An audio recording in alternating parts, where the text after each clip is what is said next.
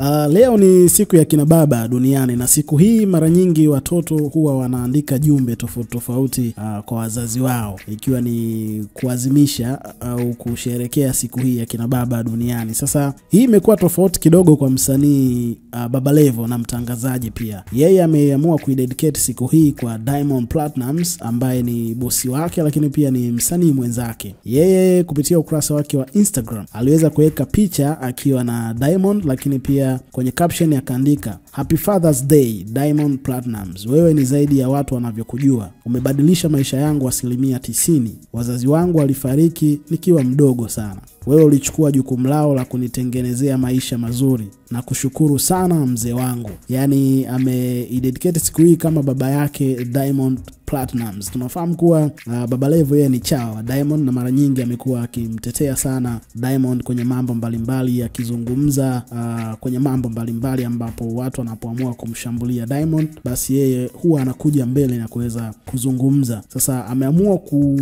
dedicate kabisa siku hii kwa Diamond Platnumz na kusema kuwa yeye ni mzee wake, lakini pia aliweka vimoji fulani hivi vya kama kusikitika hivi kwenye hiyo caption. Sasa kuna comment moja hapa